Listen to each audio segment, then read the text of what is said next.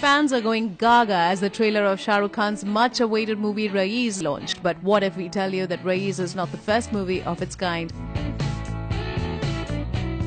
What if we tell you that an unreleased movie named Shera starring Sanjay Dutt was on the same lines as Raees? Shocking, right? Okay, let's draw some comparisons here.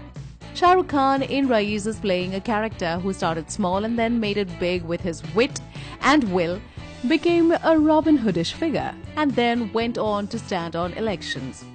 On the other hand, Sanjay Dutt's character in Shera was based on Sharman Munja Jadeja, a 1970s based Gujarat Don who started as an ordinary mill worker at Maharana Mill in Porbandar area.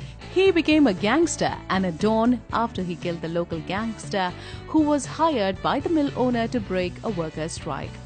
Don't tell us that you didn't find these similarities uncanny.